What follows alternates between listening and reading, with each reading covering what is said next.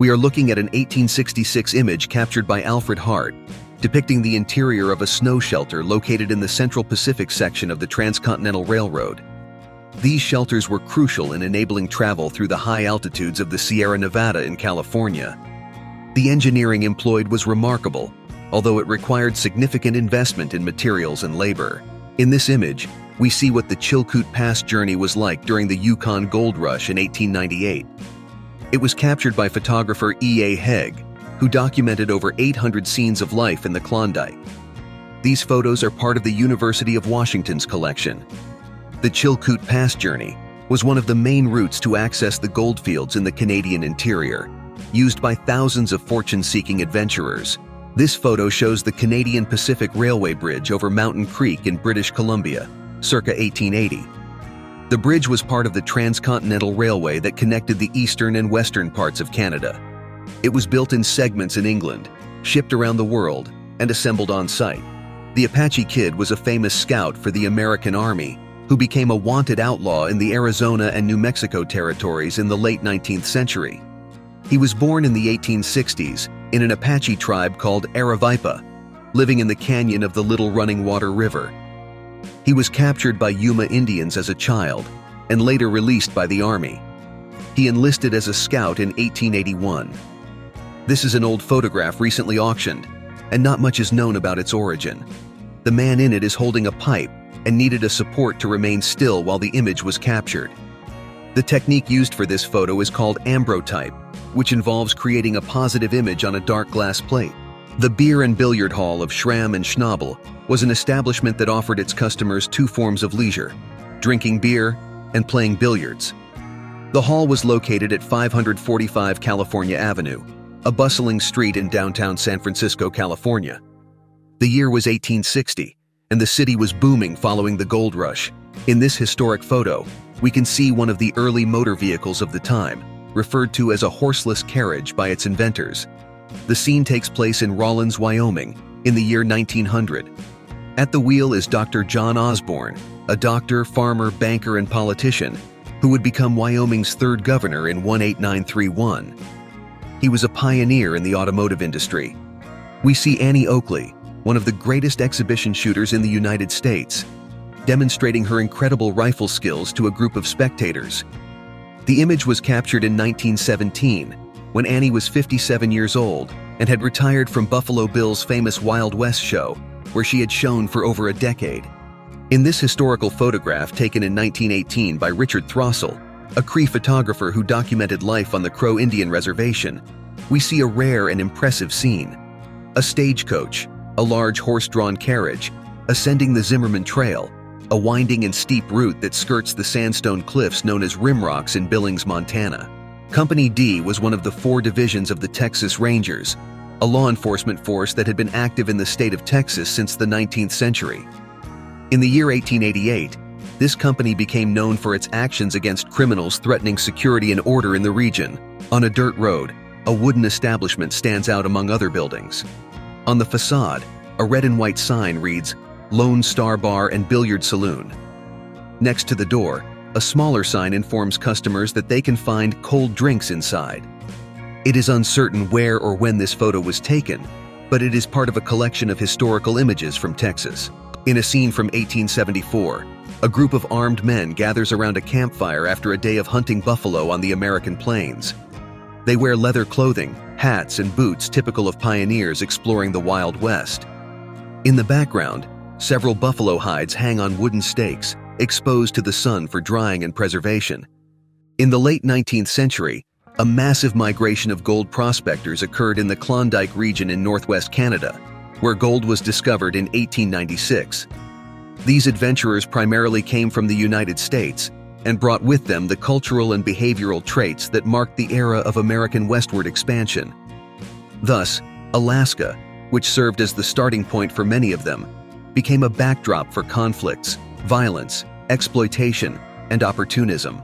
The Fashion Saloon was one of the most frequented establishments in Santa Barbara, California, in 1880. It offered a variety of services to its customers, including drinks, games, music, and dance. The saloon was decorated with mirrors, chandeliers, paintings, and carpets. creating a sophisticated and appealing ambiance. Dr. Whirlwind was an indigenous physician from the Cayuse tribe who lived between 1825 and 1910. He was known for performing medicinal dances while holding live rattlesnakes, demonstrating his power and courage. He also served as a messenger and scout for the United States Army during conflicts with other indigenous tribes. This is a rare portrait of William Frederick Cody, better known as Buffalo Bill, one of the most famous and legendary figures of the American Old West. He was a soldier, buffalo hunter, and entrepreneur who created a show called Buffalo Bill's Wild West, showcasing scenes from frontier life and Indian wars. He traveled across the United States and Europe, bringing his culture and history to millions of people. This historic 1893 photo from Michigan shows how wood transportation was done in the winter. It's incredible that just two horses could pull such a heavy load, but this was a common sight at the time. The firm and smooth snow made the logs slide as if they were on ice skates, allowing the horses to move a significant weight with less effort. Three men, three roles. Texas Congressman Edward W. Johnson, Texas Ranger Lorenzo K. Creekman, and Parker County Sheriff's Assistant E.A. Hutchison display three different badges while holding their firearms in this 1880s studio photo. The photo depicts a woman and a man on horseback in front of a wooden building. The woman is Belle Starr, a famous outlaw of the American Old West. She is wearing a dark dress, a wide brimmed hat, and a scarf around her neck. She has a pearl handled pistol on her waist and a whip in her right hand. Vash Gon, a member of the Jicarilla Apache tribe, poses for a black and white photograph. The photo was taken by Edward S. Curtis, a famous American photographer, in the year 1904. Vash Gon wears a feather headdress, bead necklace, and a fur mantle. He gazes at the camera with a serious and dignified expression. The photo is part of the J. Paul Getty Museum collection and is considered one of Curtis's most sought after and celebrated works. The photo captures a panoramic view of the city of Deadwood, located in the state of South Dakota, USA, in the year 1877. The city was a center for gold mining and trade in the Black Hills region, considered sacred by the Sioux indigenous peoples. The photo shows various wooden buildings, some with metal roofs, spread along a main street and secondary routes. The photo portrays an intriguing scene of a traffic jam of wagons and horses on a dirt road in the American West.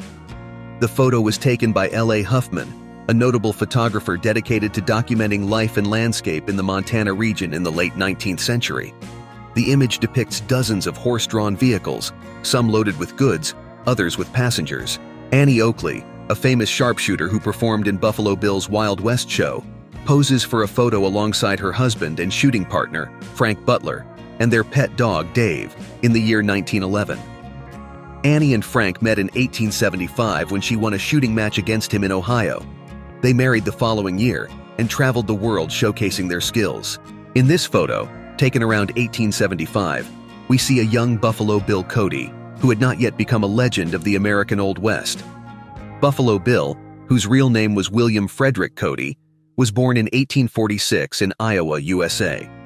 He began working at the age of 11 after his father's death and became a Pony Express rider at 15.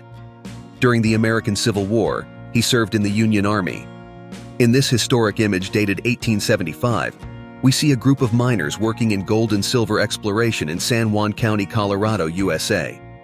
They are camped on King Solomon Mountain, a rocky elevation at 12,500 feet, where the North Star and Montanist mines were located. These mines were part of the gold rush boom that attracted thousands of adventurers to the region between 1870 and 1880. In this historic photograph taken in 1914, we see a Native American man likely from the Sioux tribe, riding an Indian Power Plus motorcycle, one of the most popular models of the time. The image contrasts the culture and way of life of Native American peoples, who lived in harmony with nature and did not recognize private land ownership, with the invasion and domination of European colonizers who imposed their values and economic interests.